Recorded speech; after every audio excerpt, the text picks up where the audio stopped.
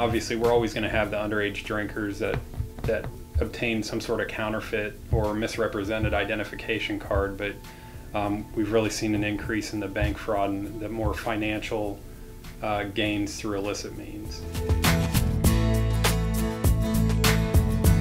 With the tools they need to identify that document as a non-authentic document, and then also provide some sort of uh, schematic or testimony for why that driver's license is not authentic. I think the overall importance is that fake IDs are equate to real crime.